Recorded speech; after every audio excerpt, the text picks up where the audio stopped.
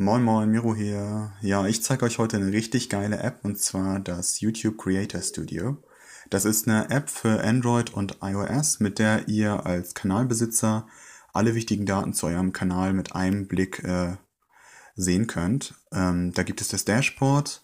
Ausgeblendet weiter oben, habe ich gerade runtergescrollt, sind die Einnahmen der letzten 28 Tagen und so weiter.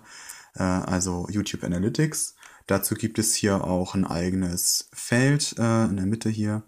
Ähm, da könnt ihr euch sehr detailliert alle Sachen anschauen, die ihr auch im Internetbrowser anschauen könnt, also äh, Aufrufzahl pro Video und so weiter und so fort, wer eure Videos guckt. Ziemlich geil gemacht. Ihr könnt außerdem die Videos euch anschauen, die ihr so gemacht habt. Hier mein erster Versuch. Der, der Daniel Dirty Cross hat mich gewarnt, dass ich meine Einnahmen nicht offenlegen darf. Das hatte ich im ersten Video gemacht. Ja, die Beschreibung hier werde ich gleich kopieren.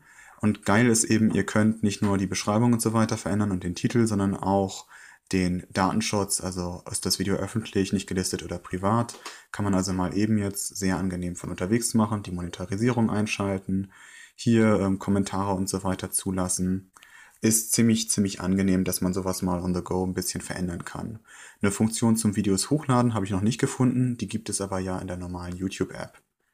Ja, aber das absolute Killer-Feature ist für mich, dass man Kommentare beantworten kann. Und ich klicke jetzt hier mal auf Mehr anzeigen oder ich tippe drauf. Und dann seht ihr gleich, äh, ich habe alle Kommentare der letzten paar Minuten im Blick. Und ja, bei meinem letzten Video, das ich eben runtergenommen habe, haben sich auch ein paar Leute schon direkt gefreut über die App. Und ja, ich freue mich auch. Jetzt kann man jederzeit ganz einfach einen Kommentar beantworten, gegebenenfalls löschen, ähm, den User blockieren oder einen Daumen hoch geben oder den Kommentar melden, auch wenn wir wissen, es bringt nicht allzu viel.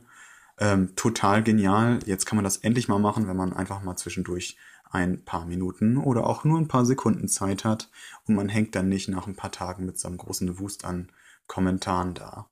Ja, vergessen zu erwähnen eben habe ich, man kann auch die Videos in den Playlists organisieren. Das ist auch ganz gut gemacht. Äh, hier zum Editieren der Playlist. Ups. Wir wollen, ja, neu nach alt. das speichere ich jetzt einfach mal nicht. Okay, ja, und dann äh, hat man eben auch unterwegs die Möglichkeit, seine Videos schön zu sortieren. Und ja, das finde ich ziemlich cool gemacht. Ja, das war's also zu der App. Ich hoffe, dem einen oder anderen von euch erleichtert sie auch ein bisschen die Arbeit und äh, lässt euch mehr Zeit fürs Hobby. Äh, ja, viel Spaß damit. Grüße aus dem Norden.